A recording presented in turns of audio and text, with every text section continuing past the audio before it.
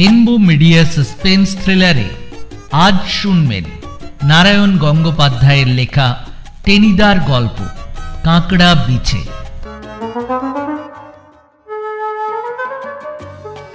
তবে আজ আমরা কাঁকড়া বিছে শুধু নয়, তার সাথে আরও দুটো গল্প আপনাদের শোনাব। অন্য দুটি গল্প হল টিকটিকির লেজ আর বেয়ারিং ছাড়। আমরা প্রায় সকলেই টেনিদার গল্প সেই কোন ছোটবেলায় পড়েছি। গল্পের মূল বিষয়টা এখনও মনে থাকলেও ঘটনা পরম্পরা কিন্তু ভুলেই গেছি। হয়তো আপনারা অন্যান্য চ্যানেলেও টেনিদার গল্প শুনেছেন, কিন্তু আজ আমরা আমাদের মতো করে পরিবেশন করব টেনিদাকে আপনাদের কাছে। আশা করছি আপনাদের ভালোই লাগবে। শুরু হচ্ছে আজকের টেনিদা গল্পত্রয়ী, টিকটিকের লেজ, বেয়ারিং ছাট ও কাঁকড়া বিছে।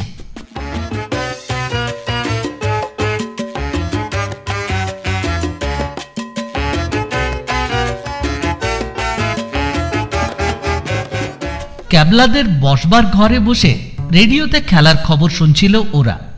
মোহনবাগানের খেলা। প্যালারাম টেনিদা আর ক্যাবলা খুব মন দিয়ে শুনছিল আর থেকে থেকেই চিৎকার করছিল, গোল! দলের হাবুল সেন হাজির ছিল না। সে আবার ইস্টবেঙ্গলের সাপোর্টার। মোহনবাগানের খেলায় হাবলার কোনো ইন্টারেস্ট নেই। কিন্তু চেঁচিয়েও বেশি সুবিধে হলো না। শেষ পর্যন্ত একটাই পয়েন্ট ওদের মন মেজাজ এমন বিচ্ছিরি হয়ে গেল যে ক্যাবলার মার নিজের হাতে তৈরি, গরম গরম কাটলেটগুলো পর্যন্ত খেতে ইচ্ছে করছিল না। এই ফাঁকে টেনিদা প্যালার প্লেট থেকে একটা কাটলেট পাচার করল। মনের দুঃখে প্যালা দেখেও দেখতে পেল না। কিছুক্ষণ উদাস হয়ে থেকে ক্যাবলা বলল, দুধ? প্যালারাম বলল টেনিদা হাটটার শুদ্ধ চিবিয়ে কাটলেটগুলো শেষ করল। তারপর কিছুক্ষণ খুব ভাবুকের মতো চেয়ে রইল সামনের দেয়ালের দিকে। একটা মোটা সাইজের টিকটিকি বেশ এক মনে কুপকুপ করে পোকা খাচ্ছিল। তাকে লক্ষ্য করতে করতে টেনিদা বললে ওই যে। প্যালা জিজ্ঞেস করল ওই যে কি? মোহন বাগান মোহনবাগান মানে? টিকটিকি? মানে টিকটিকির ল্যাচ শুনে প্যালা আর ক্যাবলা একসঙ্গে চেঁচিয়ে উঠল। খবরদার টেনিদা মোহনবাগানের অপমান করো না। টেনিদা নাকটা কুঁচকে মুখটাকে পাঁপড় ভাজার মতো করে বললে আরে খেলে যা। বললাম কি আর বুঝলো কি এ দুটো? এতে বুঝবার কি আছে শুনি? তুমি মোহনবাগানকে টিকটিকির ল্যাজ বলছো? চুপ কর প্যালা মিথ্যে কুর্বকের মতো বকবক করিসনি। যদি বাবা কচু বনেশ্বরের কথা জানতিস তাহলে বুঝতিস টিকটিকির রহস্যটা কি? কচু বনেশ্বর সে আবার কি? এবার ক্যাবলার জিজ্ঞাসা। সে এক অত্যন্ত ঘোরালো ব্যাপার যাকে ফরাসি ভাষায় বলে পুঁদিচ্চেরি। পুঁদিচ্চেরি তো পন্ডিচেরি সে তো একটা জায়গা জায়গার নাম? টেনিদা দাঁত খিচিয়ে বললে ভারী ওস্তাদ হয়ে গেছিস যে। আমি বলছি যে পুদিচ্চেরি মানে ব্যাপার অত্যন্ত সাংঘাতিক। বাস এ নিয়ে তক্ক করবি তো এক চড়ে তোর কান। কানপুরে উড়ে যাবে। রাইট। টেনিদা গম্ভীর হয়ে বললে এবার তাহলে বাবা কচু বনেশ্বরের কথাটা বলি। ঠাকুর দেবতার ব্যাপার খুব ভক্তি করে শুনবি। যদি তক্ক টক্ক করিস তাহলে না না না। না না। না টেনিদা শুরু করল। সেবার গরমের ছুটিতে সেজ পিসিমার কাছে বেড়াতে গেছি ঘুঁটে পুকুরে। খাসা জায়গা। গাছে গাছে আম জাম কাঁঠাল কলা। আহা শুনেই যে লোভ হচ্ছে। ঘুটে পুকুরটা কোথায় টেনিদা? ক্যাবলা বেজার হয়ে বললে আহ গল্প থামিয়ে দিস না। ঘুটে পুকুর কোথায় হবে আবার? নিশ্চয়ই গোবরডাঙ্গার কাছাকাছি। টেনিদা বললে না গোবরডাঙ্গার কাছে নয়। রানাঘাট স্টেশন থেকে বারো মাইল দূরে। দিব্যি জায়গা রে। চারদিকে বেশ শ্যামল প্রান্তর ট্রান্তর উম, পাখির কাকলি টাকলি কিছুই অভাব নেই। কিন্তু তারও চাইতে বেশি আছে আম জাম কাঁঠাল আর কলা। খেয়ে খেয়ে আমার গা থেকে এমনি আম কাঁঠালের গন্ধ বেরোতো যে রাস্তায় আমার পেছন পেছন আট দশটা গরু বাতাস শুঁকতে শুঁকতে হাঁটতো। একদিন তো কিন্তু না, গরুর গল্প আজ না। বাবা কচু বনেশ্বরের কথাটাই তোদের বলি।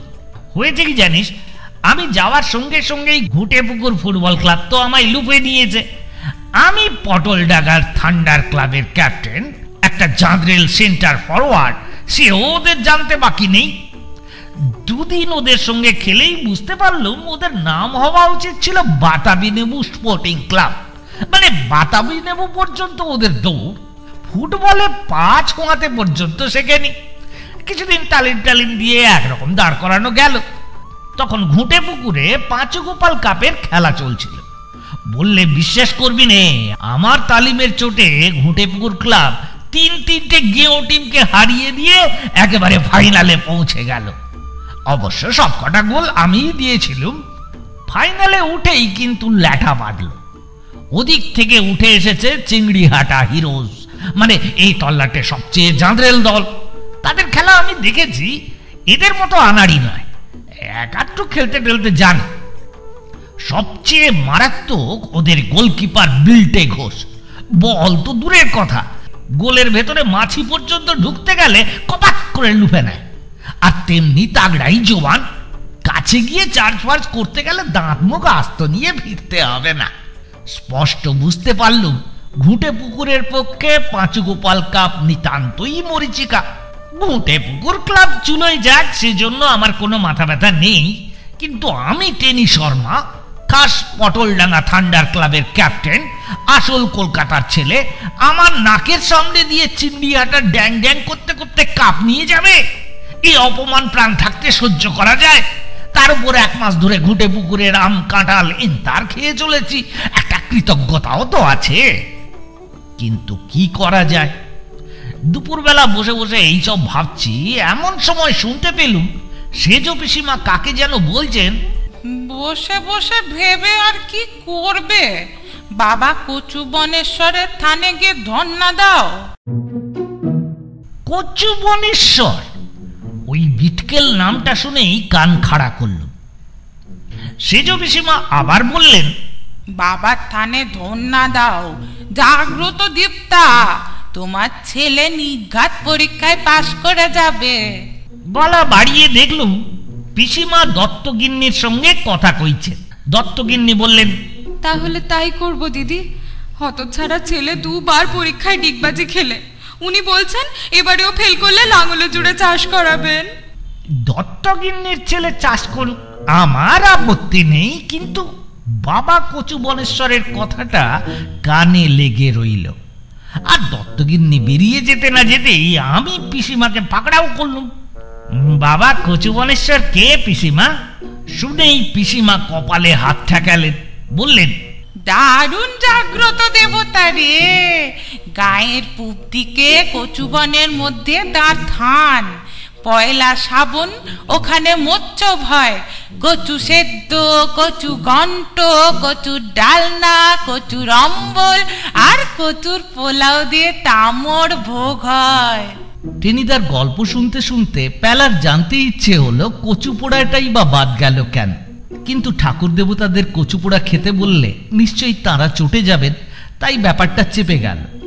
জিজ্ঞেস করল কচুর পোলাও খেতে কেমন লাগে টেনিদা? টেনিদা খ্যাঁক খ্যাঁক করে বলল "ইয়ে, কচু খেলে যা। আমি কি কচুর পোলাও খেয়েছি নাকি যে বলব? ইচ্ছে হয়?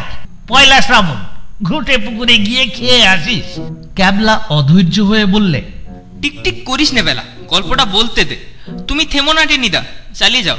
টেনিদা বললে সেজ পিসিমার ভক্তি দেখে আমারও দারুণ ভক্তি হলো। আর ভেবে দেখ কচু সেদ্ধ, কচু ঘন্ট কচুর অম্বল কচুর কালিয়া মানে এত কচু ম্যানেজ করা, চারটিখানি কথা। আমার তো কচু দেখলেই গলা কুটকুট করে। কচু ভোগের বহর দেখে মনে হলো, দেবতাটি তো তবে সামান্যই নয়।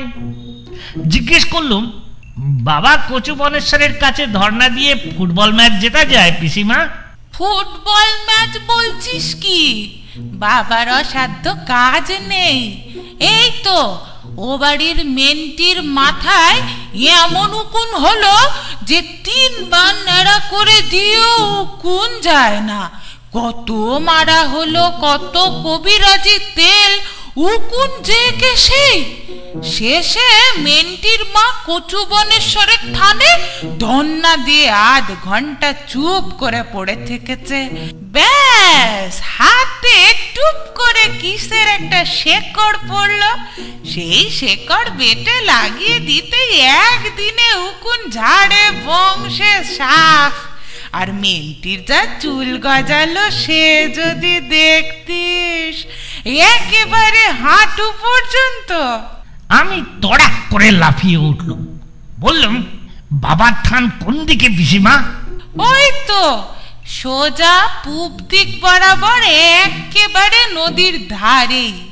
কচুবনের ভেতরে বাবার থান।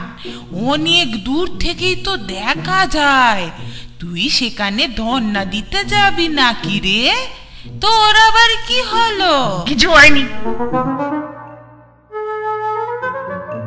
ভুলে সোজা পিসিমার সামনে থেকে চলে এলুম মনে মনে ঠিক করলুম কাউকে জানতে দেওয়া নয়। চুপি চুপি একাই গিয়ে ঘন্টাখানেক ধর্না দেব। একটা শেকড় টেকড় যদি পেয়ে যাই বেটে খেয়ে নেব। তারপর কালকের খেলায় আমাকে আর পায় কে? ওই ডাকসাইটে বিলটে ঘোষের হাতের তলা দিয়েই তিন তিনখানা গোল ঢুকিয়ে দেবো।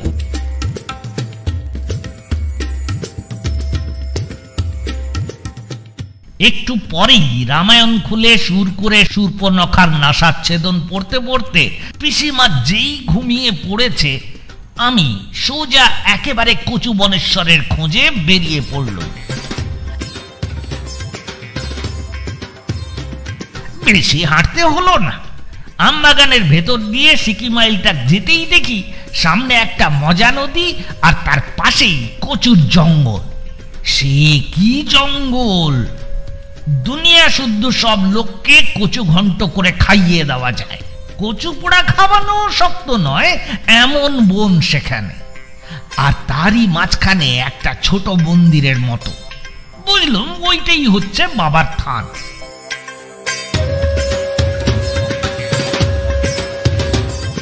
বন ঠেলে তো মন্দিরে পৌঁছানো গেল।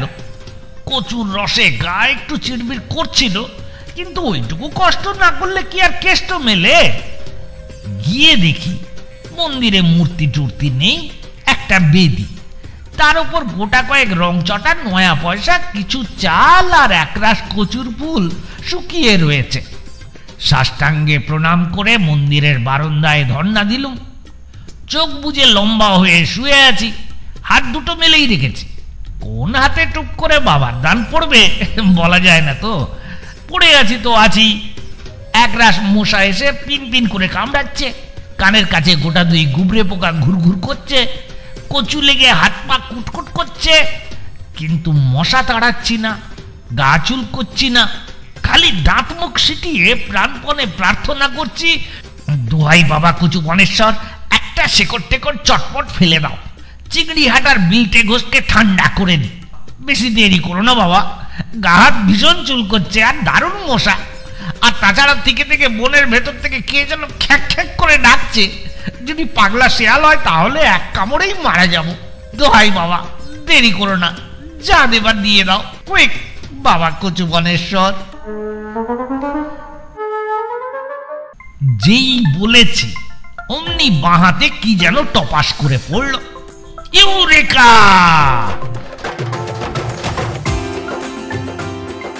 বলে যেই লাফিয়ে উঠেছি, দেখি শেকড়ের মতোই কি একটা পড়েছে বটে। কিন্তু এ কি? শেকড়টা তুড়ুক তুড়ুক করে অল্প অল্প লাফাচ্ছে যে। মন্ত্রপুত জ্যান্ত শেকড় নাকি? আর তক্ষণি মাথার উপর ট্যাক ট্যাক টিকিস করে একটা আওয়াজ হলো। দেখি দুটো টিকটিকি দেয়ালের গায়ে লড়াই করছে। তাদের একটা ল্যাজ নেই। মানে মারামারিতে খসে পড়েছে। রহস্য ভেদ হয়ে গেল সঙ্গে সঙ্গেই। তাহলে আমার হাতে শেকড় পড়েনি, পড়েছে টিকটিকির কাটা ল্যাজ। টিপে দেখলুম রবারের মতো। আর অল্প অল্প নড়ছে তখনও। দুর্বুদ্ধি হলে যা হয়, ভীষণ রাগ হয়ে গেল আমার। মনে হলো, বাবা কচু বনেশ্বর আমায় ঠাট্টা করলে এতক্ষণ গায়ের কুটকুটো নিয়ে আর মশার কামড় সহ্য করে শেষে কিনা টিকটিকির লাশ গো গো করে উঠে পড়লুম তক্ষুনি আবার সেই শিয়ালটা খ্যাক খ্যাক করে ডেকে উঠল। মনে হলো এখানে থাকাটা আর ঠিক নয়। মন্দির থেকে নেমে কচুবন ভেঙে সোজা বাড়ি চলে এলুম আছে সর্ষের তেল মেখে এক ঘণ্টা পরে পায়ের জ্বলুনি খানিকটা বন্ধ হলো।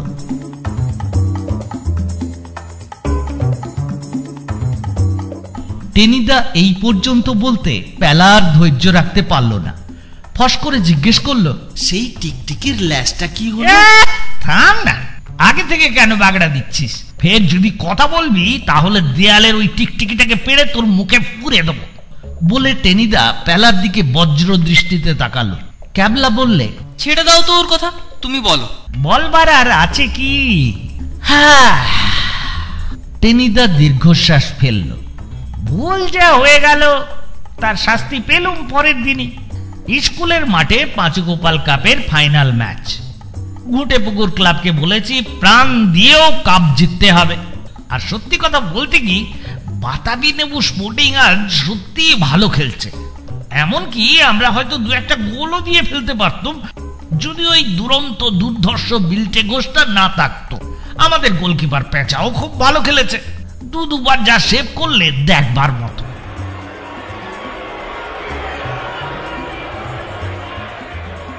হাফ টাইম পর্যন্ত ড্র কিন্তু বুঝতে পারছিলুম ঘুটে পুকুরের দম ফুরিয়ে আসছে।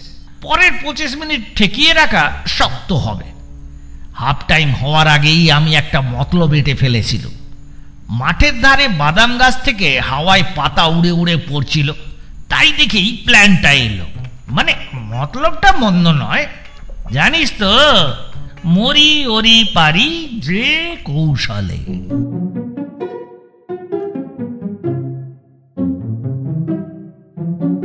হাফ টাইম হতেই সেজ পিসিমার বাড়ির রাখাল ভেটকির কানে কানে আমি একটা পরামর্শ দিল ভেটকিটাকে দেখতে বোকাশোকা হলেও বেশ কাজের ছেলে। শুনেই এক গাল হেসে সে দৌড় মারল। আবার খেলা আরম্ভ হলো। হাওয়ায় বাদামের পাতা উড়ে আসছে। আমি আর চোখে তা দেখছি আর ভাবছি ভেটকি কখন আসে? এর মধ্যে চিংড়ি হাটা আমাদের দারুণ চেপে ধরেছে। যান কবুল করে বাঁচাচ্ছে পেঁচা আমিও ফাঁক পেলে ওদের গোলে হানা দিচ্ছি, কিন্তু বিলটে ঘোষটা যেন পাঁচিল হয়ে গোল আটকাচ্ছে। আমি শুধু ভাবছি ভেটকি গেল কোথায়? অনেক দূর থেকে একটা বল গড়াতে গড়াতে আমাদের গোলের দিকে চলেছিল। একটা করে আঙুল আলতো করে ছুঁয়েও তাকে ঠেকানো যায়। কিন্তু একই ব্যাপার! হঠাৎ পেঁচা হালদার দারুণ চিৎকার ছেড়ে শুনলে লাফিয়ে উঠল। প্রাণপণে পাঁচুল খেতে লাগল আর সেই ফাঁকে সোজা গোল। শুধু পেঁচা হালদার ফুলব্যাক কুচমিত্তির লাফাতে লাফাতে সেই যে বেরিয়ে গেল আর ফিরলই না। পেঁচা সমানে পা চুলকোতে লাগল আর পরপর আরও চারটে গোল। মানে ফাঁকা মাঠেই গোল দিয়ে দিল বলা যায়। হয়েছিল কি জানিস? ভেটকিকে বলেছিল, গাছ থেকে একটা লাল পিঁপড়ের বাসা ছিঁড়ে এনে উড়ো পাতার সঙ্গে ওদের গোলের দিকে ছেড়ে দিতে। তাহলেই বিলটে ঘোষ একেবারে ঠান্ডা। ভেটকি দৌড়ে গেছে, বাসাও এনেছে। কিন্তু ওটাই এমন বেললেক যে হাফ টাইমে যে সাইড বদল হয়, সে আর খেয়ালই করেনি। একেবারে পেঁচা হালদারের গায়েই ছেড়ে দিয়েছে।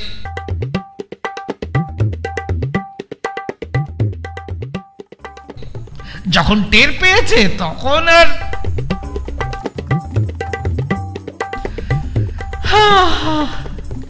একটা দীর্ঘশ্বাস ফেলে টেনিদা থামল।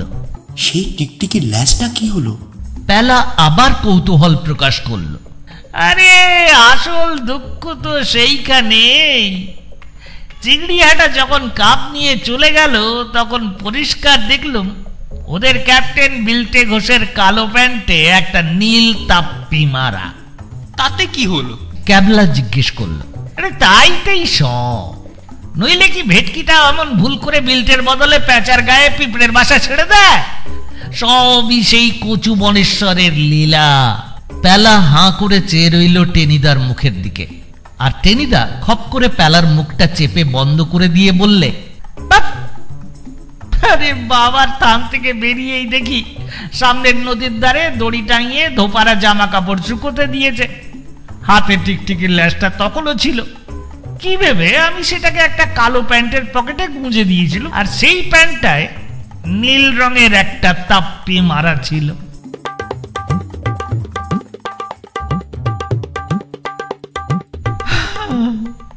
আবার দীর্ঘশ্বাস ফেলল টেনিদা। আর মাথার ওপরে টিকটিকিটা সেই সময় ডেকে উঠল।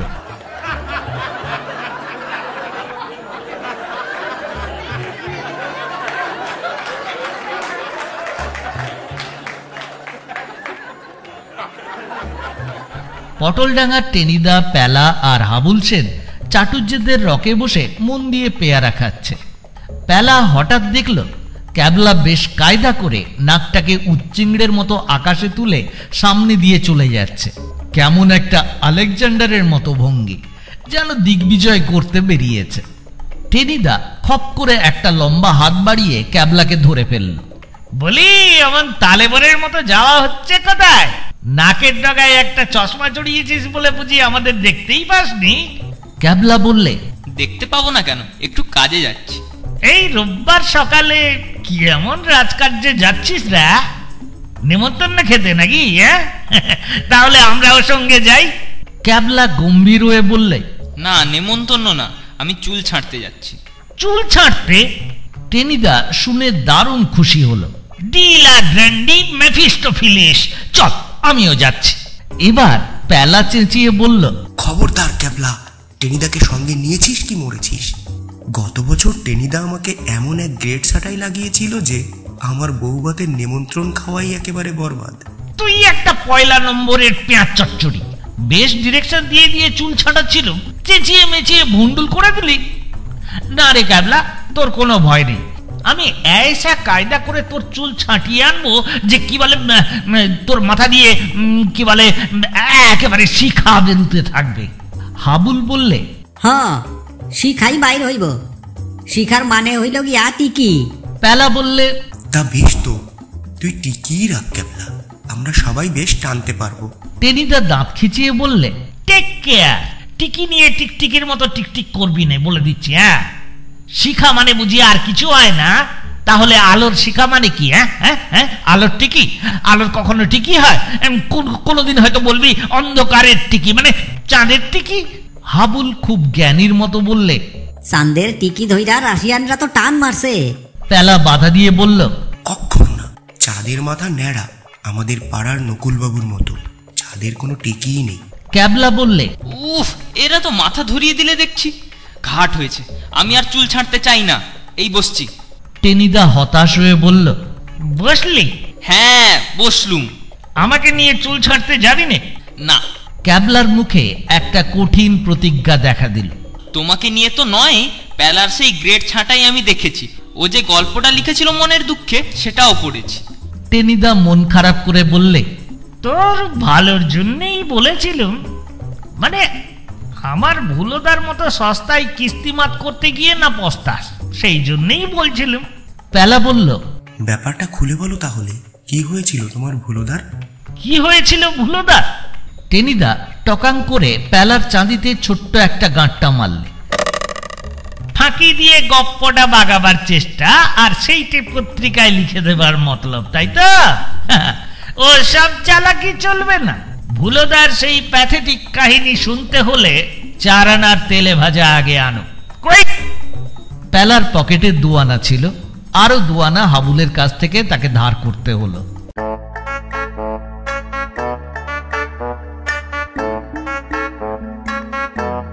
দুখানা বেগুনি একসঙ্গে মুখে পুরে দিয়ে টেনিদা বললে, আমার ভুলোদা মানে আমার দুঃসম্পর্কের জ্যাঠা মশাইয়ের এক ছেলে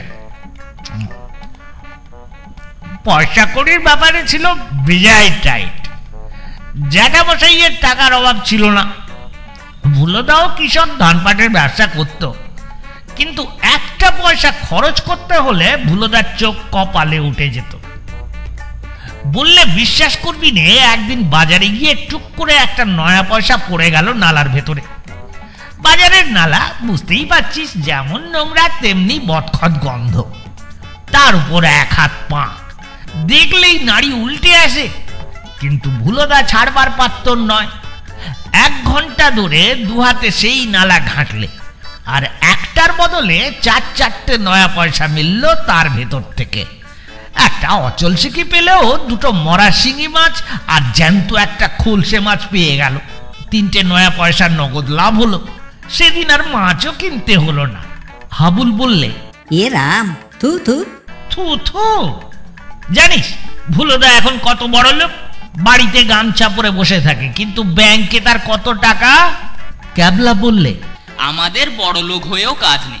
বেশ আছে পচা ট্রেন থেকে মরা শিগি মাছ খেতে পারব না। গামছা পরেও বসে থাকতে পারব তা না পারবি তো যা কচু পোড়া খাগে যা। পেলা ব্যস্ত হয়ে বলল আহ ঝগড়া করছ কেন? গল্পটা বলতে দাও না। টেনিদা গজগজ করতে লাগল। বড় লোক হবেন না। না হলি তো না হলি অত তরপানি কিসের জন্য রে? মরা শিঙি মাছ খেতে না চাস জ্যান্ত তিমে মাছ খা। গামছা পরতে না চাস আলু আলু করে বসে থাক। ওসব ধ্যাসটামো আমার ভালো লাগে না। হুম। গল্পটা গপ্পটা টেনিদা মুখটাকে ডিম ভাজার মতো করে বললে দেখ খালি কুরুবকের মতো বক বক করলে গপ্প হয়। কুরুবক এক রকমের ফুল ফুল কখনো বক বক করে না। আমি বলছি করুবক এক রকমের বক খুব বিচ্ছিরি বক। ফের যদি আমার সঙ্গে তক্ক করবি তাহলে আমি এক্ষুনি কাঁচি এনে তোকে একটা গ্রেট ছাঁটি লাগিয়ে দেবো। শুনে ক্যাবলার মুখটুক একেবারে শুটকি মাছের মতো হয়ে গেল। বলল না না তুমি বলে যাও আমি আর তক্ক করব না। করিসনি? বেঘরে মারা যাবি তাহলে। বলে কুরুবক এক রকমের ফুল। তাহলে গরুও এক রকমের ফল রসগোল্লা এক রকমের পাখি বানরগুলো এক রকমের পাকা তাল। চালাকি করিসনি আমার সাথে। কিন্তু ভুলোদা? আরে গেল যা এটা যে ভুলোদা ভুলোদা করে খেপে যাবে দেখছি। টেনিদা পেলার চাঁদিতে আরেকটা গাঁটটা মারলে। শিঙি মাছ দিয়ে নিজেও পটলের ঝোল খায় কিনা তাই এত ফুর্তি হয়েছে। বলে তেলে ভাজা ঠোঙা থেকে শেষ আলুর চপটা মুখে পুরে দিয়ে বললে একদম সাইলেন্ট নইলে গল্প আমি আর বলব না। আচ্ছা আচ্ছা। টেনিদা শুরু করল ভুলেদা পশ্চিমে কোথায় ব্যবসা করত? ওদেশে থাকবার জন্য আর পয়সা বাঁচাবার জন্য তো বটেই। একেবারে পুরোপুরি দেশওয়ালি বনে গিয়েছিল। মোটা কুর্তা পরতো, পায়ে দিত কাঁচা চামড়ার নাগরা। গড়গড়িয়ে দেহাতি তালুতে সব সময় খৈনি ডলতো পানকে বলতো পানুয়া সাপকে বলতো সাঁপোয়া। আমরা কিছু জিজ্ঞেস করলে অন্য মনস্কভাবে জবাব দিত, কুচকা হেল হো। কামাতে খরচ হবে বলে দাড়ি রেখেছিল। তাতে বেশ সাধু সাধু দেখতে আর গায়ের সাদাসিদে মানুষ কিছু ভক্তি ছেদাও করত। কিন্তু চুলটা মাঝে মাঝে না কাটলে মাথা কুটকুট করে। তাছাড়া কি বলে রাত দিন টাকার ধান্দায় ঘুরে ঘুরে বুলোদা খুব সাফসুপ থাকতেও পারে না। জামা কাছে মাসে একবার, চান করে বছরে চারবার। তাই চুল একটু বেশি বড় হলেই উকুন এসে বাসা বাঁধে। কিন্তু চুল ছাঁটাইয়েও ভুলোদার কোনো খরচ ছিল না। বেশ একটা কায়দা করে নিয়েছিল। কি কায়দা বল দেখি? বোধহয় নিজেই কাচি দিয়ে ছাঁটাই করতো। টেনিদা সুকুমার রায়ের হজবরলোর কাকটার মতো দুলে দুলে বলল হয়নি হয়নি ফেল। হাবুল বললে হ বুঝছি। নিজের মাথার চুল খামচা খামচা কইরা টাইনা তুলতো। কি বুদ্ধি। মগজ তো নয় যেন নিরেক একটা খাজা কাঁঠাল বসে আছে। আর এদিকে খিমচে খিমচে তোর খানিকটা চুল তুলে দিই কেমন লাগে তখন টের পাবি। টেনিদা হাত বাড়াতেই হাবুল সরাত করে এক লাফে রক থেকে নেমে পড়ল। ক্যাবলা বললে আমরা ওসব কায়দা ফায়দার খবর জানব থেকে তুমি বলো। টেনিদা তেলে ভাজার ফাঁকা ঠোঙাটা খুঁজে একটা কিসের ভাঙা টুকরো পেল। অগত্যা সেইটাই মুখে পুরে দিয়ে বলল কায়দাটা বেশ মজা বুঝলি? ভুলোদা নজর করে দেখেছিল দেহাতি নাপিতদের মধ্যে বেশ সুন্দর একটা নিয়ম আছে। চুলদাড়ি ছাঁটতে সজাতির কাছ থেকে ওরা কখনো পয়সা নেয় না। গিয়ে নমস্কার করে সামনে বসলেই বুঝে নেবে এ আমার সমাজের লোক। তখন দিব্যি একখানা ফ্রি হেয়ার কাট আসবার সময় আরেকটা নমস্কার করে উঠে এলেই হলো, একটাও পয়সা খরচ নেই। দাও শিখে গিয়েছিল, ব্যবসার কাজে এ গায়ে ঘুরে বেড়াতে, আসতে যেতে দুটি নমস্কার ঠুকলেই ব্যাস, কাজ হাসিল। সেদিনও তাই করেছে। রাম রাম ভাইয়া বলে তো বসে পড়েছে এক নাপিতের সামনে। চুল ছাঁটাইয়ের সঙ্গে সঙ্গে দেহাতি ভাষায় নানান গপ্প চলছে। চাষের অবস্থা কেমন? কোথায় ভান্ডাকে ভর্তা মানে বেগুনের ঘন্ট দিয়ে আচ্ছা পুরি খাওয়া যায়? কোন গাছে তিনওয়া চুড়েল মানে তিনটে পেতনি রেহেতিওয়া? এইসব সদালাপের ভেতর দিয়ে ভুলোদার চুল কাটা তো শেষ হলো। চলে ভাইয়া, রাম রাম। বলে ভুলোদা পা বাড়াতে যাবে, তক্ষুনি একটা কাণ্ড হলো। সামনেই গঙ্গা, একটা খেয়া নৌকা ওপার থেকে এপারে লাগল, আর দেখা গেল সেই নৌকা থেকে জোনা পনেরো লোক এদিক পানেই আসছে। বুড়ো থেকে ছোকরা পর্যন্ত সব বয়সের লোক আছে তাদের ভেতর। দেখেই নাপিতের চোখ কপালে উঠল, হায় রাম বলে খাবি খেলো একটা। ভুলোদা গুটি গুটি চলে যাচ্ছিল হঠাৎ নাপিত খপ করে হাতটা চেপে ধরলো তার। হাই ভাগদা কেউ? বৈঠো বৈঠো। ভুলোদা তো অবাক। পয়সা চাই নাকি? দেহাতি ভাষায় বললে আমি পয়সা দেব কেন? আমি তো তোমার সজাগ। নাপিত বললে সে বলতে হবে না আমি জানি। ওই যে পনেরো জন লোক আসছে দেখছ না? ওদের কামাতে হবে এখন। আমি একা পারব কেন? তুমি আমাদের সোজা হাত লাগাও।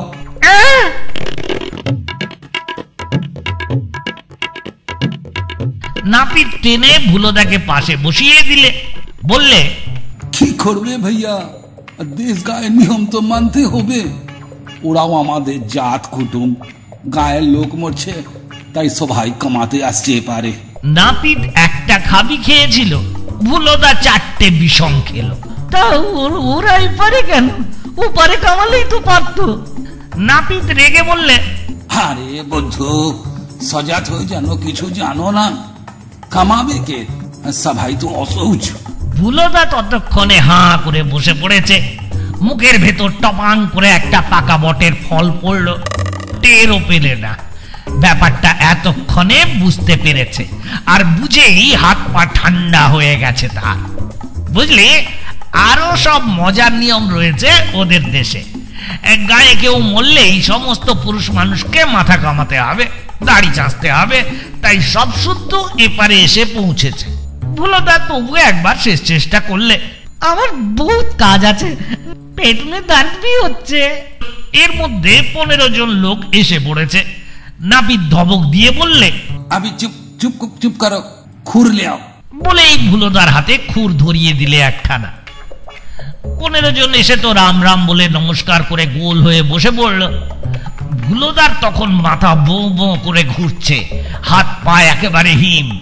ম্যালেরিয়ায় ভোগা রোগা পটকা লোক তো নয়। ইয়া ইয়া সব জোয়ান। সঙ্গে পাকা পাকা বাঁশের লাঠি। এমন করে ঘিরে বসেছে যে পালানোর রাস্তাঘাট সব বন্ধ।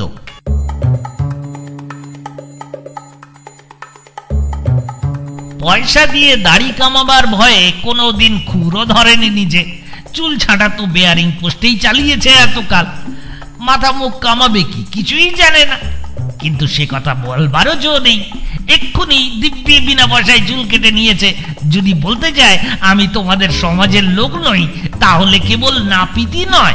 সব শুদ্ধ ষোলো জন লোক তাকে আয়সা ঠ্যাঙানি দেবে যে ভুলোদা কেবল তক্তা নয় একেবারে তক্ত পোষ হয়ে যাবে। চেয়ার টেবিল হয়ে যাব অসম্ভব নয়।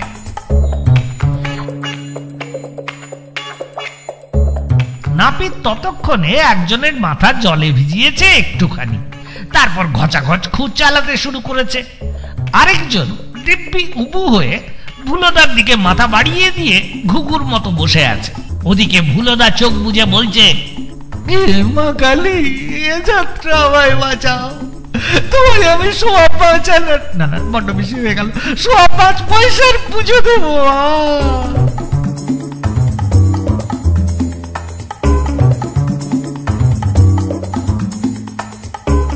হাবুল চুকচুক করে বলল ইস ইস আইসা ফ্যাসাঙে পইরা গেছে তোমার ভুলোদা।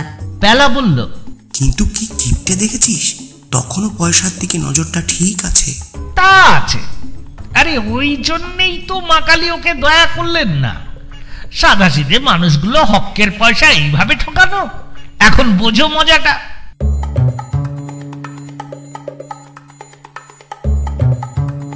ভুলদা তো সমানে জব করছে।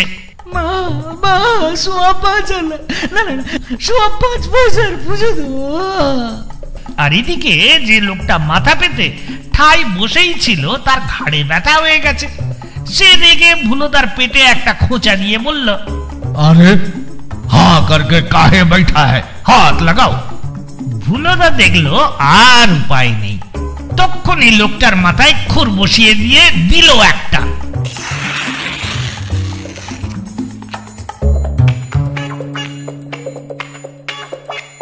জল টল কিছু দেয়নি চুল ভেজেনি। ওভাবে খুর লাগালে কি হয় বুঝতেই পারছিস।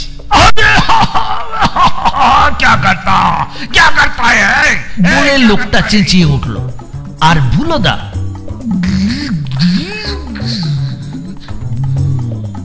আওয়াজ তুলেই ঠাই অজ্ঞান। সত্যি সত্যি কি অজ্ঞান? আরে না না প্রাণটা তো বাঁচাতে হবে। তাই অজ্ঞান হওয়া ছাড়া ভুলোদা আর কোনো রাস্তা খুঁজে পেল না। তখন চারদিকে ভারী গোলমাল শুরু হলো। আরে কা হইল কা হইল, মর গইল বা খুরের ঘায়ে যে লোকটার চাঁদি ছুলে দিয়েছে, সে পর্যন্ত তার পেল্লাই চাঁদিটা সামলে নিলে। এই জি, এই তোমরা কা ভাই মানে ওহে, তোমার কি হলো? ভুলোদা বলে চলল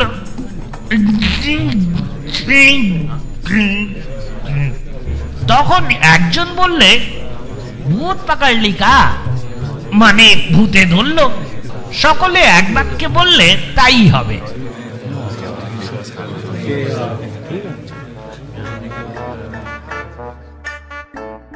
ব্যাস, আর কথা নেই। ষোলো জন লোক তক্ষণি ভুলোদাকে চ্যাংদলা করে নিয়ে চলল। যেভাবে শুয়োর নিয়ে যায় আর কি। ভুলোদার হাত পা যেন ছিঁড়ে যেতে লাগল।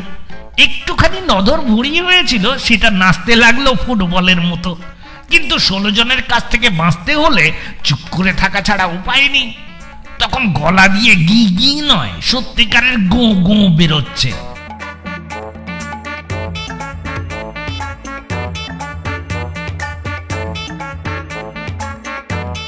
নিয়ে গিয়ে ফেলল এক রোজার বাড়িতে। সবাই মিলে চেঁচিয়ে বলল রোজা বললে ঠিক হ্যাঁ? অমনি সবাই মিলে ভুলোদার হাত পা ঠেসে ধরলে। ভুলোদা তেমনি গো গো করতে লাগল। এদিকে রোজা কতকগুলো শুকনো লঙ্কার মতো কি পুড়িয়ে ভুলোদার নাকে ধোঁয়া দিতে শুরু করলে।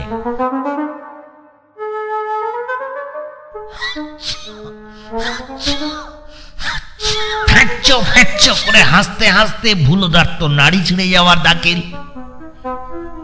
তারপরে রোজা করেছে কি? থেকে একটা খ্যাংড়া ঝাঁটা এনে কি সব বিড়বিড় করে বকতে বকতে ভুলোটাকে ঝপাং ঝপাং করে পিটতে আরম্ভ করেছে। ভুলোদার অবস্থা তখন বুঝতেই পারছিস। গলা ফাটিয়ে চেঁচাতে লাগল। বাবারে বাবারে টনটনের কালি রে আমার দফা সারলে রে আমি গেলুম রে নাপিতরা চোখ বড় বড় করে বললে বাংলা বুড়া তখন সবাই মিলে বললে বাঙালি ভূত পাকাড়লি রাম রাম রাম রাম রাম রাম রাম রাম রাম রাম রোজা মাথা নাড়লে বললে बंगाली भूत बहुत जब्बर भूत आरो जोरे झटा चलाते होगे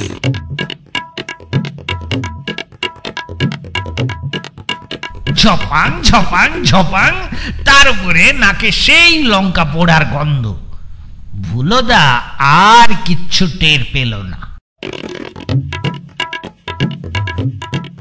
উঠে বসলো তিন ঘন্টা পরে একটু একটু করে ব্যাপারটা খেয়াল হচ্ছে তখন দেখল দুশো গায়ের লোক তাকে ঘিরে দাঁড়িয়ে। তার মাথা পরিষ্কার করে কামান, একেবারে ন্যাড়া।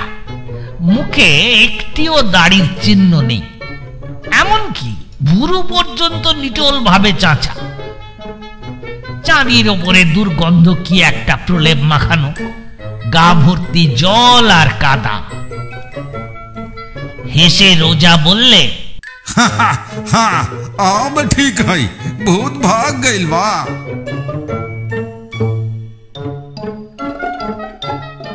হ্যাঁ সেই থেকে ভূত সত্যি পালিয়েছে বুলুদার এখন আর সস্তায় কিস্তিমাত করতে চায় না নিয়মিত সেলুনে গিয়ে নগদ আট ঘন্টা পয়সা খরচ করে চুল ছেটে আসে তাই বলছিল মোরে ক্যাবলা রিগে ক্যাবলা উঠে দাঁড়ালো আমি তোমার ভুলোদার মতো বিনে পয়সায় চুল ছাঁটতে চাইছিলুম। একথা তোমায় কে বললে? তারপর তেমনি কায়দা করে নাকের ওপর চশমাটাকে আরও উঁচুতে তুলে আলেকজান্ডারের ভঙ্গিতে গটমটিয়ে চলে গেল সে।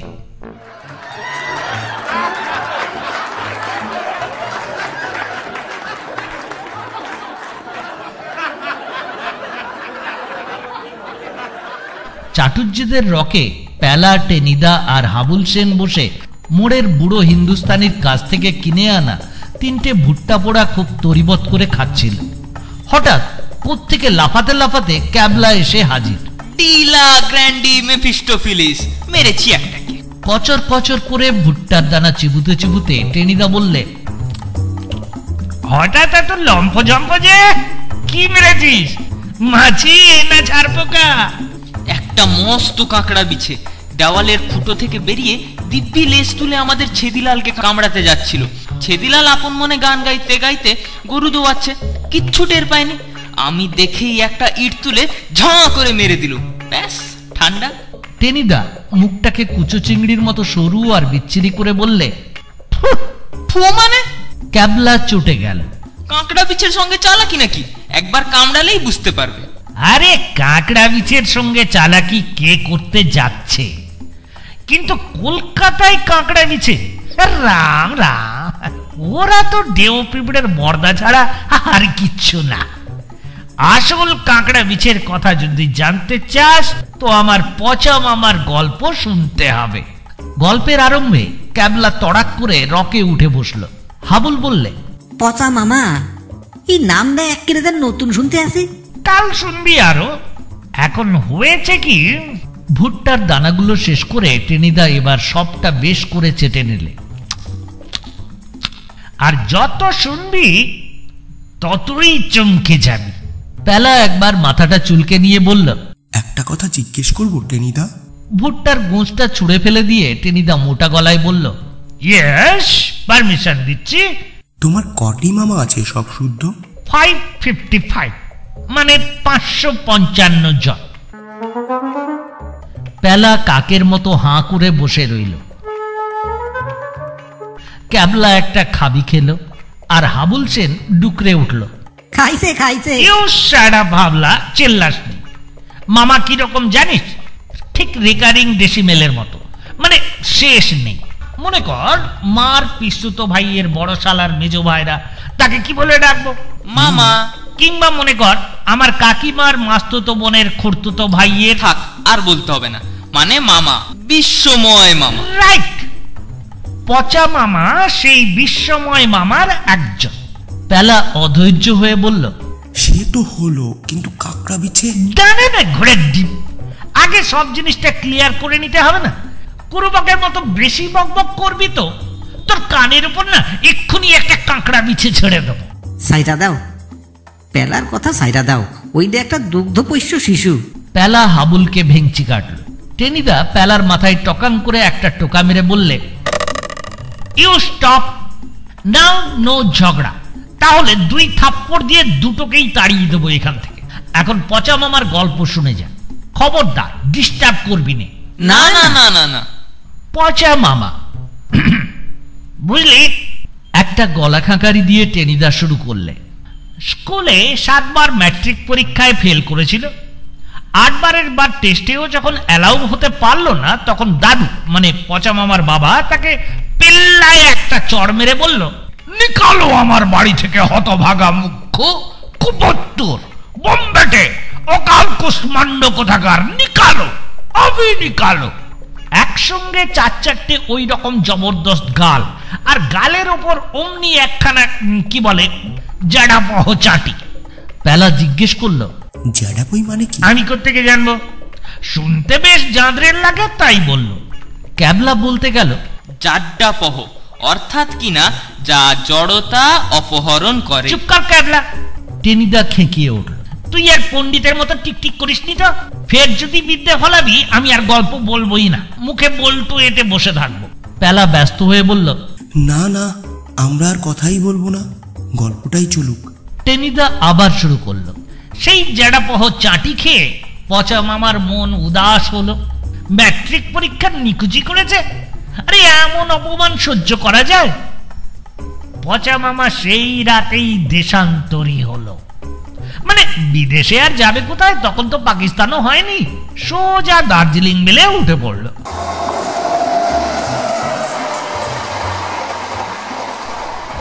গিয়ে শিলিগুড়িতে।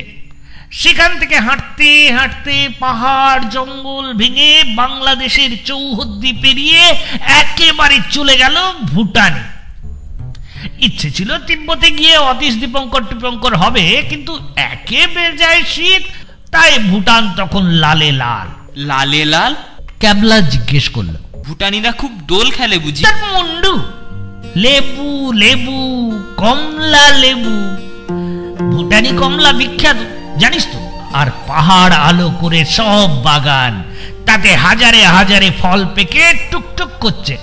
ঝরে পড়ছে গাছতলায়। যত খুশি কুড়িয়ে খাও, কেউ কিচ্ছুটি বলবে না।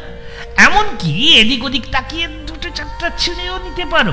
কে আর অত লক্ষ্য করতে যাচ্ছে?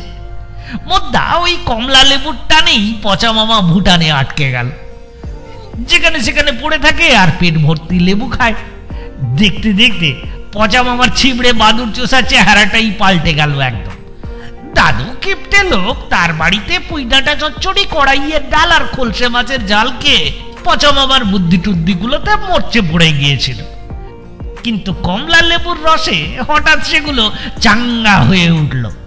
ওদিকে সবচাইতে বড় বাগানের মালিক হলো প্রেম দর্জি সিরিং। নামটা কি বলে একটু ইয়ে হলেও লোকটা কিন্তু বেশ ভালো মানুষ। গোলগাল চেহারা গায়ে ওদের সেই কালো আল খাল্লা মাথায় কাঁচা পাকা চুলের লম্বা বিনুনি মুখে পাঁচ সাত গাছা দাড়ি সবসময় মিঠে মিঠে হাসি।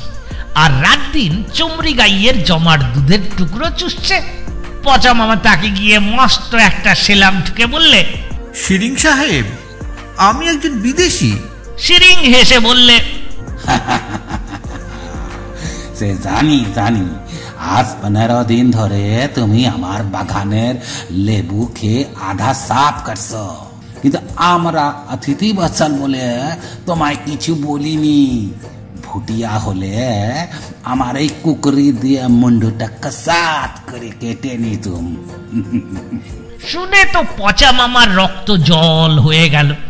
বললে সাহেব আমি খুব হাংরি বলেই সিরিং চামড়ি গাইয়ের দুধের টুকরো মুখে পুরে বললে ঠিক আছে ঠিক আছে আমি কিছু মাইন্ড করিনি। ওই তো তোমার বাঙালির পেট। কি বা তুমি খেতে পারো? এখন বলো কি চাও? পচা মামা হাত কচলাতে কচলাতে বললে শিরিং সাহেব শুধু কমলা লেবু চালান দিয়ে কি বা লাভ হয় আপনার? হ্যাঁ কম কি? আহ, লাখ আগে এই লাখ টাকা যদি পাঁচ লাখ হয়? শুনে শিরিং সাহেব নড়ে বসল। হুম তা কি করে হতে পারে? আপনি অরেঞ্জ স্কোয়াশ অর্থাৎ বোতল ভর্তি করে কমলা লেবুর রস বিক্রি করুন। তাতে লাভ অনেক বেশি হবে। এই আর নতুন কথা কি? এই তো মাইল পাশে এক দূরে ডিক্রুজ বলে এক সাহেব একটা কারখানা করেছে। সে তো জুত করতে পারছে না। বাজারে দারুণ কম্পিটিশন কলকাতা ও বোম্বাইতে অনেক বড় কোম্পানি আমরা সুবিধে করতে পারব কেন? পচা মামা আবার একটা লম্বা সেলাম ঠুকলো। যদি এমন অরেঞ্জ স্কোয়াশ তৈরি করতে পারি যা স্বাদে গন্ধে অতুলনীয় মানে যা খেলে লোকে আর ভুলতে পারে না একবার খেলে বারবার খেতে চায়? পচা মামা চাল মাল। বুঝতেই পারছিস কিন্তু বিদেশ বিভুঁইয়ে এক একটু ওসব করতেই হয় নইলে কাজ চলে না। হুম সে জিনিস তৈরি করবে কে? তুমি? চেষ্টা করে দেখতে পারি। তুমি কি কেমিস্ট? আমি এমএসসি পচা মামা ভাবলো বাঙালির ব্রেন একটা কিছু করে ফেলবেই। শিরিং খানিক্ষণ গম্ভীর হয়ে কি ভাবলো তারপর বললে ঠিক আছে বেশ চেষ্টা করে একবার দেখো। কিন্তু দিন পনেরো সময় দিতে হবে। শিরিং উৎসাহ দিয়ে বললে পনেরো দিন কেন? এক মাস এক মাস সময় দিচ্ছি। তুমি আমার আউট হাউসে থাকো এক্সপেরিমেন্টের জন্য যা চাও সব দেব। তোমাকে কারখানা চিফ কেমিস্ট করিয়ে দেব, আর মাসে দু হাজার টাকা করে মাইনে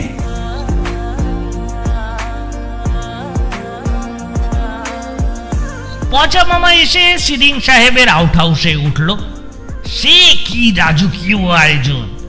এমন গদিয়াটা বিছানায় পচা মামাদের কেউ সাত জন্মে শোয়েন।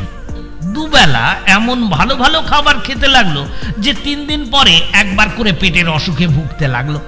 আর সেই সঙ্গে চলল তার এক্সপেরিমেন্ট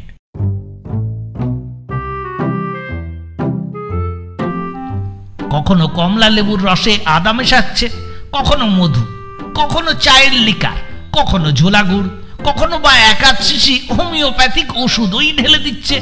মানে প্রাণে যা চায় আর কি। আর খেয়ে খেয়ে দেখছে। কোনোদিন বা এক চামচ খেয়েই বমি করে ফেলল। কোনোদিন মুখে দিতে না দিতেই টিড়িং টিড়িং করে লাফিয়ে উঠল। কোনোদিন নেহাত বন্ধ লাগল না, আর কোনোদিন মুখ এমন টকে গেল যে ঝাড়া আটচল্লিশ ঘণ্টা কিছু আর দাঁতে কাটতে পারে না। এদিকে এক মাস তো যাই যায় শিরিং সাহেব মাঝে মাঝে খবর নেয় কদ্দূর হলো। পচা মামা বুঝতে পারল, এবারে পরস্মৈপদী রাজভোগ আর বেশি দিন চলবে না। এক মাসের ভেতর কিছু করতে না পারলে এই খাওয়ার সুখ সুদে আসলে আদায় করে নেবে। পিটিয়ে তক্তা তো করে দেবেই, চাই কি কচাং করে মুন্ডুটাও কেটে নিতে পারে। পচা মামা রাত জেগে ভগবানের কাছে প্রার্থনা করে আর এক্সপেরিমেন্ট চালায়। তারপর একদিন মধু, আদা, হোমিওপ্যাথিক ওষুধ আর পিঁপড়ের ডিম মিশিয়ে যেই এক্সপেরিমেন্ট করেছে। ও কি বলব তোদের?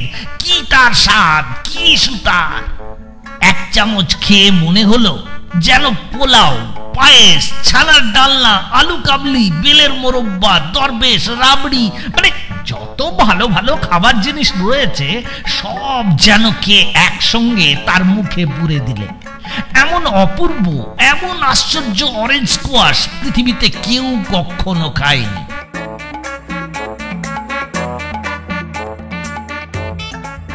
পচা মামা তখনই গিয়ে শিরিন সাহেবকে সেলাম ঢুকলো বললে আমি রেডি বাবা এক্সপেরিমেন্ট সাকসেসফুল শিরিং সাহেব খুশি হয়ে বললে বেশ তাহলে কালকে আমিও আমার স্ত্রী আমার ছেলে আমার ম্যানেজার আর আমার তিনজন বন্ধু আমরা তোমার অরেঞ্জ স্কোয়াশ খেয়ে দেখব। যদি ভালো লাগে তাহলে কলকাতার মেশিনে অর্ডার দেব আর তুমি আমার কারখানা চিফ কেমিস্ট মাসে দু হাজার টাকা মাইনে।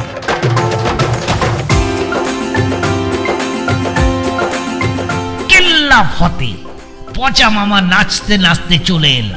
সারা রাত ধরে স্বপ্ন দেখল সে একটা মস্ত মোটর গাড়ি চেপে রাস্তা দিয়ে যাচ্ছে আর দুধারের লোক তাকে সেলাম ঠুকছে। কিন্তু বরাত কি আর অত সহজেই খোলে রে? তাহলে কি আর আজ পচা মামাকে লুঙ্গি আর গেঞ্জি পরে গায়ে মুদিখানার দোকান করতে হয়? না পেঁয়াজ আর মুসুরির ডালের ওজন নিয়ে খদ্দেরদের সঙ্গে ঝগড়া করতে হয়? যাকে যা হলো তা বলি। পচা মামা বুঝতে পেরেছিল? নিশ্চয়ই পুপড়ের ডিমের গুণেই তার তৈরি অরেঞ্জ স্কোয়াশ তখন স্বর্গের সুধা হয়ে উঠেছে। প্রাণ খুলে সে আট বোতল সুধা তৈরি করল। তারপর নিশ্চিন্তে ঘুমোতে গেল। আর ঘুমিয়ে ঘুমিয়ে কি সুখের স্বপ্ন সে দেখল, সে তো আগেই বলেছি।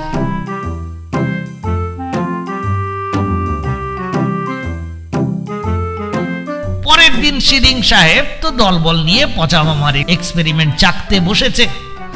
সবটা মিলে বেশ একটা চমৎকার মচ্ছবের আবহাওয়া। মস্ত টেবিলে দামি টেবিল ক্লথ পেতে দেওয়া হয়েছে। ফুলদানিতে ফুল সাজানো হয়েছে। গ্রামোফোনে নাচের রেকর্ড বাজছে আর সাতজনের সামনে সাতটির উপর গ্লাস চকচক করছে। পচা মামা আহাল্লাদি আহাল্লাদি মুখ করে গিলাসে তার এক্সপেরিমেন্ট ঢেলে দিল। প্রথমে সিরিং সাহেব একটা চুমুক দিল, তারপর আর সবাই। তোদের বলব কি, তক্ষুনি যেন বিপর্যয় ব্যাপারটা ঘটে গেল। প্রথমেই আঁক করে সিরিং সাহেব চেয়ার শুদ্ধ উল্টে পড়ে গেল। সিরিং সাহেবের গিন্নি টেবিলে বমি করে ফেলল। তাদের ছেলে, আই! করে একটা আওয়াজ তুলে সেই যে ঘর থেকে দৌড় লাগালো, পাক্কা তিন মাইল গিয়ে তারপরে বোধহয় সে থামলো। ম্যানেজার হাত পা ছুড়ে পাগলের মতো নাচতে লাগল। একজন অতিথি আরেকজনকে জড়িয়ে ধরে ঘরের মেঝেই কুস্তি লুটতে লাগল। আর তিন নম্বর অতিথি হঠাৎ তেড়ে গিয়ে সিরিং সাহেবের কুকুরটার ল্যাজে ঘ্যাক করে কামড়ে দিল।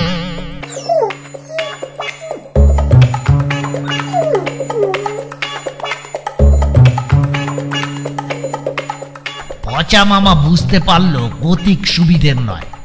তার সুধা যেমনই হোক খেয়ে এদের আরাম লাগেনি।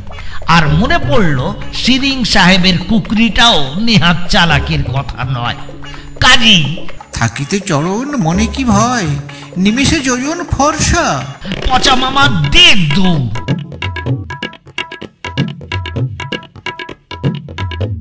সারাদিন দৌড়লো তারপর সন্ধেবেলা এক গভীর বনের ভেতর একটা ভাঙা মন্দিরে বসে হাঁপাতে লাগল। ভাবলো, খুব বেঁচে গেছি এ যাত্রা। ওদিকে ঘণ্টা তিনেক বাদে মাথা ফাতা একটু ঠান্ডা হলে শিরিং সাহেব হাঁক ছাড়লো। কোথায় সেই জচ্চর কেমিস্ট বিষ খাইয়ে আমাদের মেরে ফেলার জোগাড় করেছিল শিগগিরই ওকে কান ধরে টেনে নিয়ে এখানে। আমি নিজের হাতে তার মুন্ডু কাটবো। তক্ষণে লোক ছুটলো চারদিকে। ওদিকে পচা মামা মন্দিরে বসে ভাবতে লাগল, ব্যাপারটা কি হলো? সে নিজে বারবার তার আবিষ্কার শিখে দেখেছে। কি তার স্বাদ, কি তার গন্ধ? রাতারাতি অমন করে সব বদলে গেল কি করে? হয়েছিল কি জানিস? পচা মামার বাবুর্চিটা ছিল ভীষণ লোভী। সে এক ফাঁকে একটা বোতল থেকে একটু খেয়ে এমন মজে গেছে যে চুপি চুপি আটটা বোতলই সাফ করে ফেলেছে। তারপরই তার খেয়াল হয়েছে, সকালে তো শিরিং সাহেব তার গরদান নেবে তখন করেছে কি, পচা মামার এক্সপেরিমেন্ট টেবিলে যা ছিল মানে লেবুর রস, চাল, ধোয়া জল, টিংচার আয়োডিন, এক সিসি লাল কালি, খানিকটা ঝোলা গুড় আর বেশ কিছু গোঁদের আঠা ঢেলে আটটি বোতল আবার তৈরি করে রেখেছে। আর তাই খেয়েই পচা মামা আর কিছুই বুঝতে পারছে না। সামনে সেই ভাঙা মন্দিরটার ভেতরে বসে মশার কামড় খাচ্ছে, ভয়ে আর শীতে ঠক ঠক করে কাঁপছে। ভাবছে রাত্রিটা কোনো মতে কাটলে হয়। তারপর আবার এক দৌড়, মাইল দশেক পেরুতে পারলেই ভুটান বর্ডার ছাড়িয়ে লঙ্কা পাড়া চা বাগান। তখন আর তাকে কে পায়?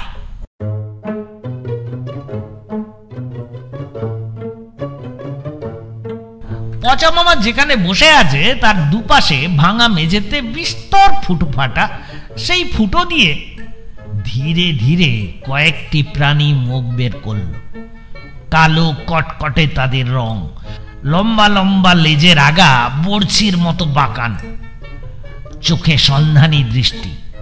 শীতের দিন ভালো খাওয়া দাওয়া জোটে না, পেটে বেশ খিদে ছিল তাদের। ওদিকে পচা মামার কোটের পকেট থেকে কেক, ডিম ভাজা, এসবের বেশ মনোরম গন্ধ বেরোচ্ছে। পালাবার সময় পচা মামার টেবিল থেকে যা পেরেছে দু পকেটে বোঝাই করে নিয়েছিল। বুঝেছিল পরে এসব কাজে লাগবে। সুরসুর করে দুদিকের পকেটে তারা একে একে ঢুকে পড়ল। খাবারের ধ্বংসাবশেষ কিছু ছিল, তাই খেতে লাগল এক মনে। পচা মামা উদাস হয়ে বসেছিল। এসব ব্যাপার স্যাপার কিছুই সে টের পেল না।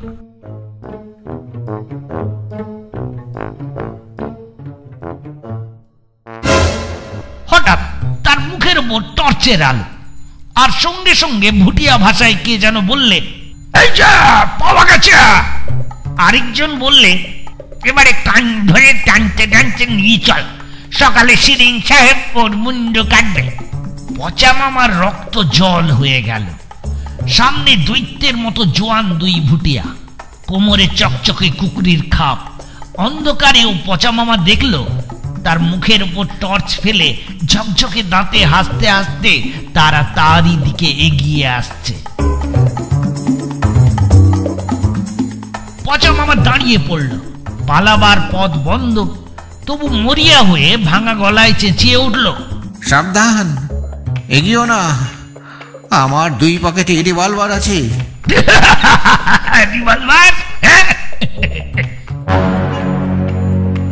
দুই মূর্তি ঝাঁপিয়ে পড়ল পচা মামার উপর।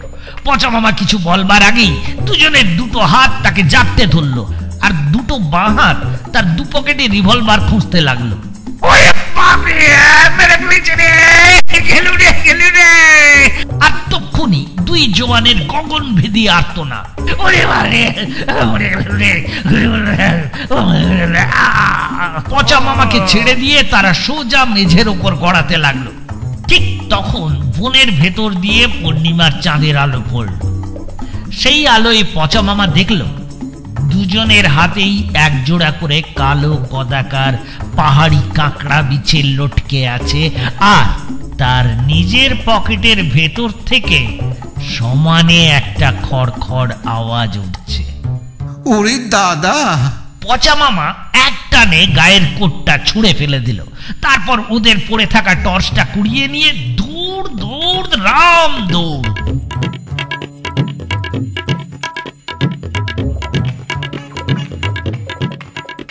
সকালের জন্যেও অপেক্ষা করতে হলো না। একটা চিতাবাঘের পিঠের ওপর হাই জাম্প দিয়ে একটা পাইথনের লেজ মারিয়ে ডজন পাঁচেক শিয়ালকে আটকে দিয়ে রাত নটার সময় যখন লঙ্কা পাড়া চা বাগানে এসে আছাড় খেয়ে পড়ল, তখন তার মুখ দিয়ে গ্যাঁজলা উঠছে।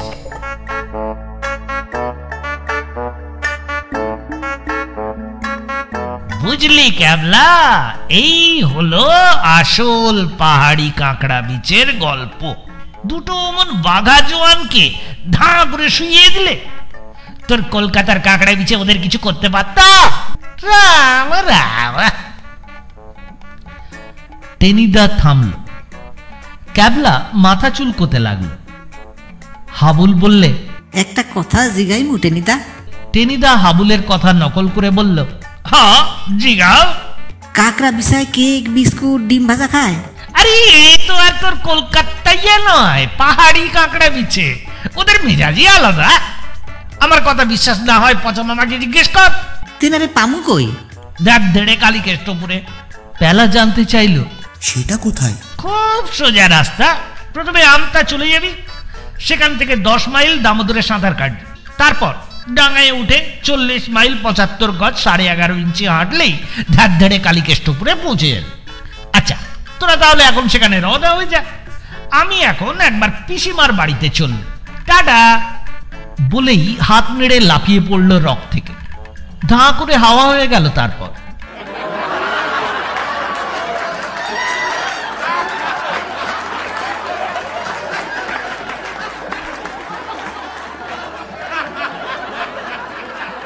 টেনিদার গল্পত্রই, টিকটিকের লেজ বেয়ারিং ছাট ও কাঁকড়া বিছে। এখানেই শেষ হলো। আজকের গল্প পাঠে অংশগ্রহণ করলেন কৌশিক নীলাঞ্জন শৈবাল ও বিশ্বমিত্রর সাথে আমি কমলেশ। আমাদের আগের পরিবেশিত গল্পের নাম চক্রান্ত। চক্রান্ত গল্পে আপনারা অনেক মতামত দিয়েছেন, কিছু মতামত এখানটায় আপনাদের সামনে তুলে ধরছি। উত্তরা সেন লিখেছেন, গল্পটা ভালোই, তবে এর আগে অনেক বেশি ভালো গল্প আপনাদের কাছ থেকে পেয়েছি, তাই আরও ভালো গোয়েন্দা গল্প আশা করছি। ধন্যবাদ Uttara Sen. Bengali astrology news daily লিখেছেন, অনবদ্য, আবার প্রশংসনীয় পোস্টার ডিজাইন, তবে একদম প্রথম দিকের যে থিম মিউজিকটা ছিল, ওটা খুব মিস করি। একটা আলাদা ফিলিংস ছিল। কমলেশ দা, মাঝে মাঝে ওই মিউজিকটা দিলে ভালো হয়। ধন্যবাদ, Bengali astrology news daily original মিউজিকটা ডিলিট হয়ে গেছে। আচ্ছা দেখি আমি খুঁজে পেতে। যদি পাই, তাহলে আবার ওই মিউজিকটাকে ফিরিয়ে আনার চেষ্টা করব। মোহাম্মদ ইমরান লিখেছেন, ভালো লাগে, কিন্তু কথা বলার পরে অপ্রয়োজনীয় মিউজিক ভালো লাগে না। তারপরে একই মিউজিক বিরক্তিকর। মোহাম্মদ ইমরান একই মিউজিক দেওয়ার কারণ হচ্ছে ওটাকে একটা থিম মিউজিক হিসেবে ইউজ করা। প্রত্যেকটা দৃশ্যান্তরে ওই মিউজিকটাকেই বাজানো হয়। আর ভালো লাগা না লাগা সেটা তো বিশ্বজিৎ সিং লিখেছেন, খুব খুব ভালো লাগল গল্পটা। আরও এরকম ভালো ভালো গোয়েন্দা বিভাগের গল্প চাই। ধন্যবাদ বিশ্বজিৎ সিং। সঙ্গে থাকুন, অনেক গোয়েন্দা গল্প শোনাবো। মুনমুন ভট্টাচার্য লিখেছেন, ভালো লাগল না গল্পটা। আপনাদের কাছ থেকে অনেক ভালো গল্প শোনার আশা করে থাকি। এত হতাশ করলেন। দুঃখিত মুনমুন ভট্টাচার্য। আশা করছি পরের গল্পটা আপনাকে খুশি করবে। দিব্যেন্দু মিত্র লিখছেন, প্লিজ একটু ভূতের গল্প বেশি করে দিন, আর নতুন লোগোটা অনেক ভালো আগের লোগোটার থেকে। ধন্যবাদ দিব্যেন্দু মিত্র। শুভঙ্কর বৈরাগ্য লিখেছেন, অসাধারণ পোস্টার ডিজাইন। ধন্যবাদ শুভঙ্কর বৈরাগ্য। ঋষি দেবনাথ লিখেছেন, বেশ ভালো লাগল, বাট লোগোটার মধ্যে যে ছোট ছোট তিনটে গ্রাফিক্স ইউজ করা হয়েছে সেটা অনেকটাই ছোট। আমার মতে লোগোর সাইজের থেকে এত ছোট হলে সেগুলো চোখে পড়বে না। ধন্যবাদ ঋষি দেবনাথ আপনার মতামতের জন্য। সম্রাট লিখেছেন এই লোগোটা আমার কাছে অনেক ভালো লেগেছে। ধন্যবাদ সম্রাট। অরিন্দম লিখেছেন, ফাটাফাটি, জমাটি best story of this week rainbow media যখন সাসপেন্স স্টোরি করে জাস্ট সিক্সার কমলেশ দা, আপনার ভয়েস একেবারে ফ্রিকিকে গোল, দারুণ। ক্রিকেট ফুটবল সব একসাথে মিশিয়ে দিলেন অরিন্দম। ধন্যবাদ। অরূপ ব্যানার্জি লিখেছেন style of story telling is nice plot and its logic is weak as if a teenage standard detective story don't worry I love rainbow media and its group waiting for more interesting suspense story all the best ধন্যবাদ অরূপ ব্যানার্জি। জয়তী বিশ্বাস লিখেছেন, বেশ ভালো গল্প, সাবলীল পরিবেশনা, আপনাদের ভাষ্যপাঠ সবসময় দারুণ। আজও খুবই ভালো লেগেছে আগামী দিনে আরও অনেক নাটক শোনার অপেক্ষায় রইলাম। সবাইকে অভিনন্দন, ধন্যবাদ, জয়তী বিশ্বাস। সবিতা রায় লিখেছেন বাহ দারুণ সুন্দর গল্পটা আপনাদের কাছে এই রকম গল্প আশা করি শুনতে পাবো। অবশ্যই শুনতে পাবেন, নিয়মিত শুনতে পাবেন, সঙ্গে থাকুন। শুভজিৎ লিখেছেন, আপনাদের গল্প বলা ও পরিবেশনা নিয়ে কোনো কথা হবে না। আর পোস্টারে চ্যানেলের লোগোটা বেশ অন্যরকম, কিন্তু এই লোগোটা ডান দিকের বদলে যদি বাম দিকে ব্যবহার করেন, ভালো দেখতে লাগবে। শুভজিৎ বলতে হয় বলে বলা ডান দিকে আছে, ওটা বাঁদিকে করে দিন। বাঁ দিকে আছে, ওটা ডান দিকে করে দিন। ধন্যবাদ শুভজিৎ শরীফুল মণ্ডল লিখেছেন, দাদা হেমেন্দ্র কুমার রায়ের কুমার বিমলের গল্প শুনতে চাই। ধন্যবাদ, শরীফুল মণ্ডল। আগামী দিনে নিশ্চয়ই কুমার বিমলের গল্প আপনাদের শোনানোর চেষ্টা করব। ক্যান্ডিড ফ্রেমিং লিখছেন, গল্পটা কেমন যেন লাগল, আপনাদের লেভেলটা দাদা অন্য। তাই আমাদের এক্সপেকটেশনটাও একটু বেড়ে আছে। আরও ভালো কিছু শোনার আশায় রইলাম। সাথে আছি, দাদা এগিয়ে যান। ব্ল্যাক অ্যান্ড হোয়াইট লোগোটা আমার খুব একটা পছন্দ হয়নি, তবে এটা সম্পূর্ণই আমার ব্যক্তিগত মত। ধন্যবাদ ক্যান্ডিড ফ্রেমিং প্রতনু ব্যানার্জি লিখেছেন, দারুণ গল্পটা, খুব সুন্দর উপস্থাপনা। বাহ বাহ গ্রেট রেনবো মিডিয়ার লাস্ট স্টোরিটাও আমি শুনেছি, সেটাও ফাটাফাটি। ধন্যবাদ প্রতনু ব্যানার্জি।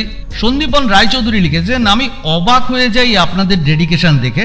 ইচ্ছে থাকলে কি করা যায় আপনারা দেখিয়ে দিচ্ছেন। সীমিত সামর্থ্যের মধ্যেও দুটো করে গল্প, তাও আবার দুটোই ভিন্ন স্বাদের হ্যাটস অফ আপনাদের টিমকে চালিয়ে খেলুন, সঙ্গে আছি। ধন্যবাদ সন্দীপন রায়চৌধুরী। পিডি লিখেছেন হ্যাঁ লোগোটা বেশ হয়েছে, এই গল্পটি ভালো হয়েছে। বলছি, শুভ মানুষ ঘোষের একটা গল্প হলে খুব ভালো হতো। ধন্যবাদ, পিডি, পুরো নাম দেননি, পিডি লেখা আছে। শুভ মানুষ ঘোষ, লেখক, আমাদের শুভানুধ্যায়ী আমাদের রেনবো মিডিয়া পরিবারের একজন। ঠিক আছে, আপনার কথা অনুযায়ী তার কাছে অনুরোধ করব একটা গল্প দেওয়ার জন্য। ওনার গল্প পেলে অবশ্যই আমরা পাঠ করে শোনাবো। দেবাশিস দাস লিখেছেন, বাহ, সাবলীল পরিবেশনা চ্যানেলের লোগোটাও চমকপ্রদ। বিশ্ব সাহিত্যের নিরীক্ষে প্লটের বাঁধনে গতি থাকলেও প্রক্রিয়াগত পরিণতিতে খানিক নতুনত্ব, অর্থাৎ বিস্ময়কর এলিমেন্টের প্রয়োজন বোধ করলাম। ধন্যবাদ দেবাশিস দাস মতামতের জন্য। মিস্টার ইমরান লিখেছেন, আমার খুব ভালো লাগল গল্পটা। আরও গোয়েন্দা গল্প চাই এবং নতুন লেখকদের। সুন্দর কণ্ঠ আপনার কমলেশ দা। ধন্যবাদ, mister Imran. Sangeeta's beauty world লিখেছেন, হ্যালো স্যার, আমি আপনাদের অনেক বড় ফ্যান। আপনাদের সমস্ত গল্প আমি শুনেছি, বাট আজ ফার্স্ট টাইম আমি কমেন্ট করলাম। আপনাদের সব গল্পই দারুণ আর আপনার গলাটা তো অসাধারণ। আজকের গল্পটায় আমি আগেও শুনেছি, কিন্তু আপনার গলায় শোনার লোভ সামলাতে পারলাম না। একটা রিকোয়েস্ট আছে, আমার কমেন্টটা নিশ্চয়ই পড়বেন। কিপ ইট আপ এইভাবেই ভালো গল্প আনতে থাকবেন।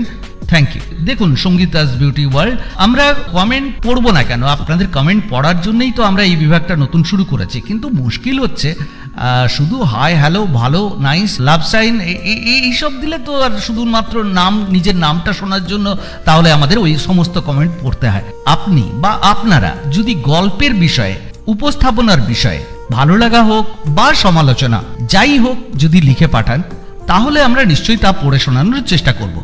তবে অবশ্যই গল্প আপলোড হওয়ার আটচল্লিশ ঘণ্টার মধ্যে। শান্তা মান্না লিখেছেন, আজকের গল্পটা খুব সুন্দর। আপনারা যখন সাসপেন্স অথবা গোয়েন্দার গল্প করেন, তখন একটা অন্য রকমের থ্রিল ফিল করি। প্লিজ এবার ভূত অথবা তান্ত্রিক বাদ দিয়ে থ্রিলার অথবা ডিটেকটিভ স্টোরি আনুন। পারলে কি কিরা রাখুন ধন্যবাদ শান্তা মান্না আপনার মতামতের জন্য। খোকন দাস লিখেছেন, গল্পটা ভালো, উপস্থাপনাও ভালো হয়েছে। আসলে এর চেয়ে অনেক অনেক ভালো গল্প শুনিয়েছে রেনবো মিডিয়া, তাই লোভটা বেড়ে গেছে। আশা করব এই স্বাদ পূরণ করবে ভবিষ্যতে। আপনারা ভালো থাকবেন, সুস্থ থাকবেন, ধন্যবাদ। খোকন দাস ধন্যবাদ আপনার মতামতের জন্য। আপনিও ভালো থাকবেন, সুস্থ থাকবেন। সৌম্য দে লিখেছেন, পরিবেশনা নিয়ে আর কিছু বলার নেই। এর টানেই পুরো গল্প শুনে ফেললাম। লেখকের প্রতি অত্যন্ত সম্মান নিয়ে বলছি, এই গল্পটির মাঝখান অব্দি টান টান উত্তেজনা অনুভব করছিলাম, কিন্তু শেষটাই যেন সেই ধারাবাহিকতা রাখতে পারেননি। চট করে শেষ হয়ে গেল এবং প্লটটাও খানিকটা অবাস্তব লাগল, যেটা গল্পের প্রথম দিকে ছিল না। যাই হোক পরের গল্পের অপেক্ষায় রইলাম। এবার অনুরোধ, ঘনাদা হোক। ধন্যবাদ সৌম্যদেব, মাথায় আছে, দেখি আগামী দিনে। মলি বিশ্বাস লিখেছেন, গল্পটা বেশ সুন্দর এগোচ্ছিল, কিন্তু হঠাৎই যেন খুব তাড়াতাড়ি লেখক খুনিকে সামনে এনে দিলেন। অমল তো গোয়েন্দা নন, উনি একদিনেই কি করে রীতা সম্পর্কে এত তথ্য জানলেন? তারপর এত শিওর হয়ে পুলিশকে যা বললেন, তাই মিলে গেল। কি জানি? যাই হোক আপনাদের পরিবেশনা ও অভিনয় দুটোই খুব ভালো। দুটোই খুব ভালো লাগল প্রতিবারের মতোই। আর হ্যাঁ আরেকটা কথা ভাই, আপনি কি চাইছেন না আমার মতো একজন গুণমুগ্ধ শ্রোতাকে হ্যাঁ? কেন? যে আমায় ওই ভুতুড়ে গ্রামে পাঠাতে চাইছিলেন? মলি বিশ্বাস, যাওয়ার দরকার নেই। আপনি থাকুন, একদম যাবেন না। আমাদের গল্প যেমন শুনছেন, তেমনই শুনতে থাকুন। শ্রেয়া চক্রবর্তী লিখেছেন, আপনাদের উপস্থাপনা নিয়ে কোনো কথা হবে না, জাস্ট অসাধারণ। আপনাদের জন্য অনেক অনেক শুভকামনা রইল। আর হ্যাঁ নতুন লোগোটা ভালো, কিন্তু বর্তমান লোগোটা আমার কেন জানি বেশি ভালো লাগছে। আমার মনে হয় আপনাদের নানা রঙের গল্পের সাথে যেমন রেনবো নামটা মেলে, তেমনই লোগোটাতেও নানা রং থাকলে ব্যাপারটা বেশ জমে এই আর কি। ধন্যবাদ শ্রেয়া চক্রবর্তী। কেয়া চ্যাটার্জি লিখেছেন ভালো লাগল, তবে প্রত্যেক সপ্তাহে তোমাদের কাছ থেকে যে ধরনের উচ্চমানের গল্প শুনি, সেই অনুপাতে এই গল্পটি আমার কাছে ততটা আকর্ষণীয় মনে হলো না। সম্ভাব্য খনিকে আগেই চিহ্নিত করা গেছিল। যাই হোক, মোটের উপর ভালো লাগল, গল্প পাঠ অভিনয় বেশ ভালো। পরবর্তী গল্পের অপেক্ষায় রইলাম, লোগোটা ভালো লেগেছে। ধন্যবাদ কেয়া চ্যাটার্জি সৌরভ কর্মকার লিখেছেন, রেনবো মিডিয়ার গল্প সিলেকশন মানেই মেয়েদের বা ছেলেদের অবজেক্টিফাই করা। গল্পে একটু লাস্য টার্নি চিন্তাভাবনা এইসব ব্যাপার। अरे कहना क्या चाहते हो এবং কমলেশও মুখরোচক ভাবে সেগুলো রসিয়ে রসিয়ে গল্প পাঠ করে ओ भाई मारो मुझे मारो হ্যাঁ রহস্য থাকেই ও প্রেজেন্টেশনটাও ক্রাইম ড্রামার মতো मारो मुझे मारो मारो ডোন্ট গেট মি রং এবং যেহেতু এটা সাসপেন্স থ্রিলার চ্যানেল তাই ঠিকই আছে नहीं ये मजाक हो रहा है एक सेकंड यार मजाक हो रहा है যে শুধু কখনো ওই বিষয়গুলো বাদ দিয়ে যদি শুধু রহস্যটুকু থাকে সেই রকম গল্প বাঁচেন তাহলে ভালো হয় এই অনুরোধ রইল। ধন্যবাদ, সৌরভ কর্মকার, আপনার মতামতের জন্য।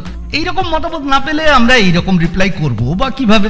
আর দ্বিতীয় কথা, আপনি যদি এখনও নিজেকে প্রাপ্তমনস্ক মনে না করেন, তাহলে রেনবো মিডিয়ার গল্পগুলো আপনার পক্ষে না শোনাই ভালো। ভালো থাকবেন, সুস্থ থাকবেন। আজ তাহলে এ পর্যন্ত, আবার দেখা হবে পরবর্তী পর্বে। সবাই ভালো থাকবেন, সুস্থ থাকবেন, আর শুনতে থাকবেন রেনবো মিডিয়া সাসপেন্স থ্রিলার নমস্কার।